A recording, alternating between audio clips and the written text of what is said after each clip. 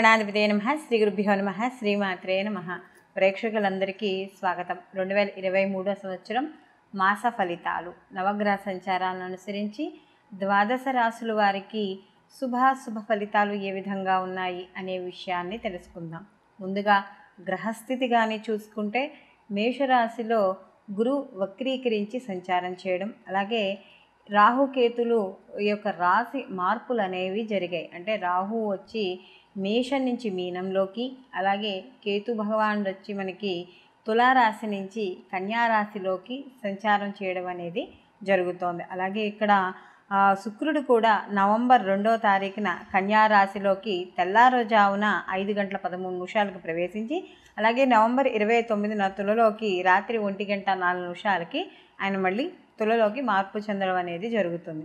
బుధుడు నవంబర్ ఆరో తారీఖు వరకు ఇక్కడ కన్యలో ఉండి తదనంతరం తులరాశిలోకి అక్కడ నుండి మళ్ళీ నవంబర్ ఇరవై ఏడు నుండి ఈయన వృచ్చికంలోకి ఇలా సంచారం చేయడం అనేది జరుగుతుంది. అంటే బుధుడు నవంబర్ ఆరున తుల నుండి అక్కడి నుంచి వృచ్చికంలోకి వస్తాడు.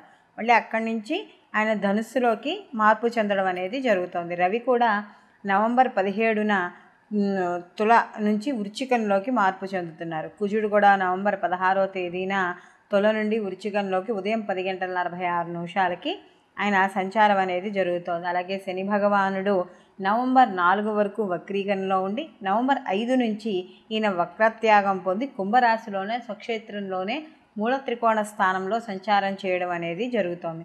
అలాగే మనకి ఇందాక చెప్పుకున్నట్టుగా రాహు మీనంలోను కేతు తుల కన్యలోనూ కూడా సంచారం జరుగుతోంది. చంద్రుడు ఈ మాసమంతా కూడా వృషభ రాశి రోహిణీ నక్షత్రం నుండి మనం మొదలుకొని మాసాంతం వరకు ఆరుద్ర నక్షత్రం వరకు ఈ చంద్రుడు సంచారం చేయడం అనేది జరుగుతోంది.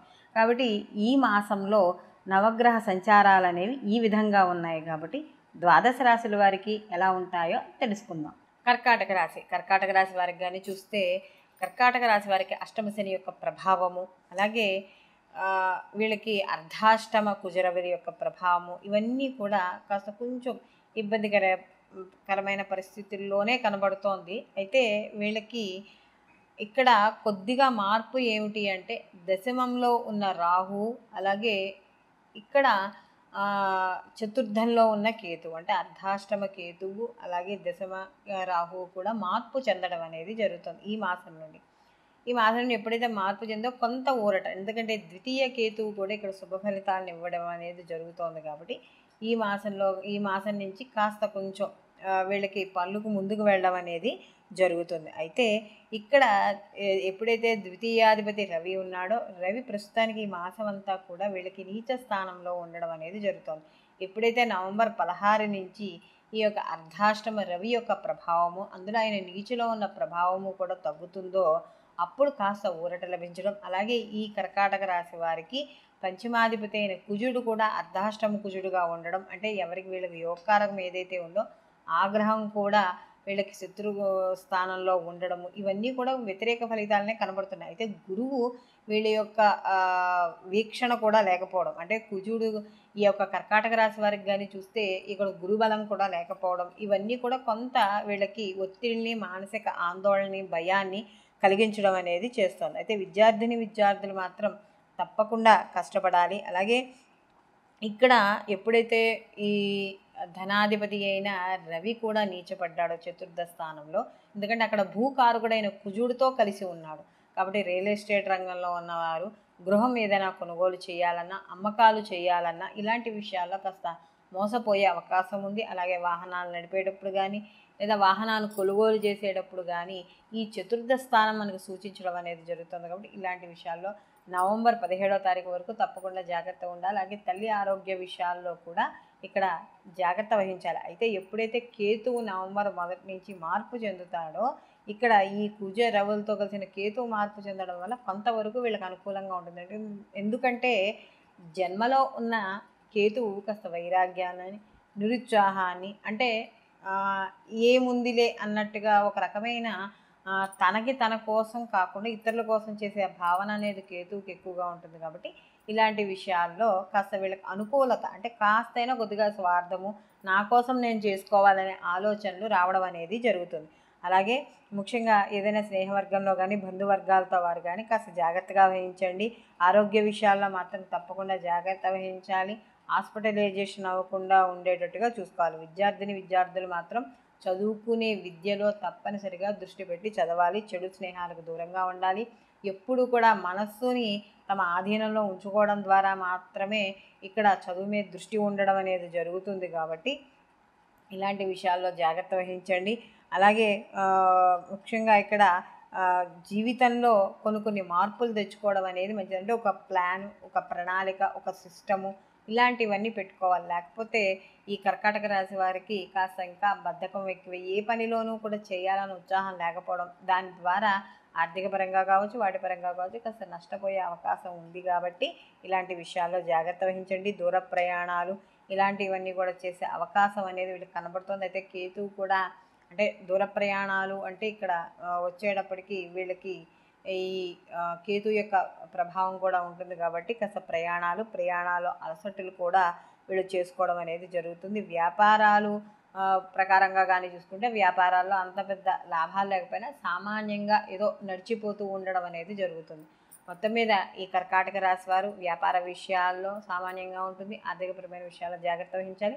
ఆరోగ్య విషయాల్లోనూ విద్యార్థిని విద్యార్థులు కూడా జాగ్రత్త వహించాలి. ఈ రాశిలో ఉన్న స్త్రీలు మాత్రం తప్పనిసరిగా ఆరోగ్యపరంగా జాగ్రత్తలు తీసుకోండి. వృత్తి ఉద్యోగ వ్యాపారాల్లో కూడా కాస్త కష్టపడితే ఉన్నతిని పొందడం అనేది జరుగుతుంది. వీళ్ళు మరిన్ని మంచి ఫలితాలు పొందడానికి ఈ యొక్క అష్టమశని యొక్క ప్రభావాన్ని తగ్గించుకోవడానికి నిత్యము కూడా శివాలయ దర్శనము శివపంచాక్షరి నామాన్ని ఎప్పుడు జపించుకుంటూ ఉండడము. అలాగే ఇక్కడ ముఖ్యంగా ఇక్కడ ఈ మాసం మధ్య వరకు కుజరవులు ఉన్నారు కాబట్టి ప్రతిరోజు సూర్య నమస్కారాలు కానీ సూర్యునికి అర్ఘ్యం కానీ ఆదిత్య హృదయ పారాయణ చేయడం వల్ల కొంతవరకు ఆరోగ్య అనారోగ్య సమస్యలు ఏమైనా వస్తే వాటి నుండి బయటపడడానికి ఎక్కువ అవకాశం అనేది కనబడుతోంది. మనం గోచార ఫలితాలు చూసుకుంటూనే ఉన్నాం. అంటే మాస ఫలితాలు గాను కొంతమంది సంవత్సర ఫలితాలు గాను ఇలా చూసుకుంటూ ఉంటారు. అయితే ఇక్కడ ఈ నవగ్రహ సంచారాలను అనుసరించి అన్ని రాశులకి ఒకే విధంగా ఉండదు. అంటే ఒక రాశికి శుభ ఫలితాలు ఉన్నప్పుడు ఒక రాశికి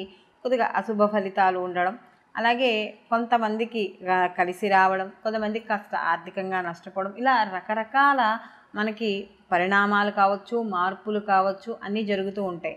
అంటే కొంతమందికి ఉద్యోగాల్లో మార్పులు ఉద్యోగాల్లో ఉన్నత స్థాయికి వెళ్ళడం కొంతమందికి ఉద్యోగాలు భంగం అవ్వడం అంటే పదవీ భంగం అవ్వడం ఇలాంటివన్నీ కూడా మనకు కనబడుతూ ఉంటాయి. అయితే ఈ గోచార ఫలితాలని ఎంతవరకు మనం పరిగణనలోకి తీసుకోవాలి అని అనుకున్నప్పుడు గోచార ఫలితాలతో పాటుగా జన్మజాతక ఫలితాలు కూడా తప్పకుండా పరిశీలనలోకి తీసుకోవాలంటే మనం ఎప్పుడైతే జన్మించేమో ఆ జన్మలో ఆ జన్మ సమయానికి అంటే ఆ రోజు డేటు మంత్ అలాగే ఇయరు అలాగే టైం ముఖ్యంగా ఇందులోకి పరిగణనలోకి తీసుకోవాలి. ఎందుకు ఇంత పర్టికులర్గా తీసుకోవాలనుకున్నప్పుడు ఎప్పుడైతే మన జన్మించిన తేదీ అవి ఖచ్చితంగా ఉంటాయో జాతకం కూడా అంత ఖచ్చితంగా తెలియడం అనేది జరుగుతుంది. సరే తెలియని వాళ్ళకి మనం నష్ట జాతకం కింద వేసి ఆ చూసే పద్ధతి వేరే ఉంటుంది. కానీ మామూలుగా ఇలా మనకి జన్మించిన సమయము అది కానీ తెలిస్తే మనకి ఏ లగ్నము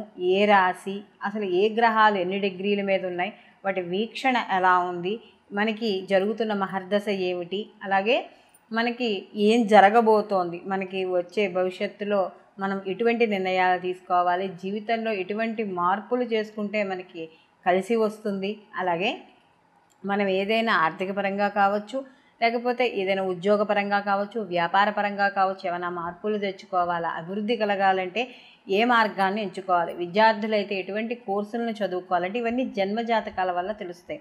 జన్మజాతకం వల్ల విద్యార్థులైతే ఏ కోర్సులో వెళితే ఎటువైపు వెళితే వాళ్ళు రాణించగలరు? అలాగే వీళ్ళకి సంతానంలో ఇబ్బందులు ఏమైనా ఉన్నాయా?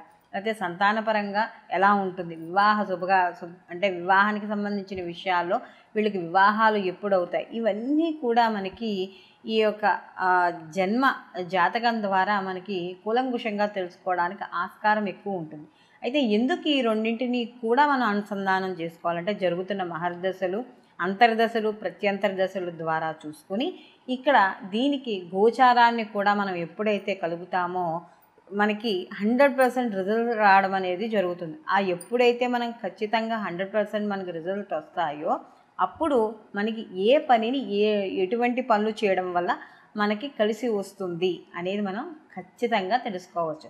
కాబట్టి ప్రతి ఒక్కరూ కూడా ఈ గోచార ఫలితాలతో పాటుగా జన్మజాతక ఫలితాలను కూడా తప్పకుండా పరిశీలనలోకి తీసుకోవాలి. అలాగే ఆ పరిశీలనలో తీసుకున్న తర్వాత మనకి ఏవైనా జన్మజాతకంలో ఏవైనా దోషాలు ఉన్నాయా? వాటికి ఎటువంటి పరిహారాలు చేసుకోవాలి? అనే విషయాన్ని కూడా మనకి దైవజ్ఞుల ద్వారా తెలుసుకుని ఆ యొక్క పరిష్కార మార్గాలు తెలుసుకుని వాటికి సంబంధించిన శాంతులు కానీ పూజలు కానీ లేకపోతే ఏవైనా చదువుకో స్తోత్రాలు చదువుకోమంటే అవి చదువుకోవడం కానీ చేయడం ద్వారా దైవ బలం పెరిగి మన జాతకంలో పాజిటివ్ రిజల్ట్ అనేది ఎక్కువగా ఉండడానికి ఆస్కారం అనేది ఉంటుంది. సర్వేజన సుఖినోభవంతు లోక సంస్థ. Así que.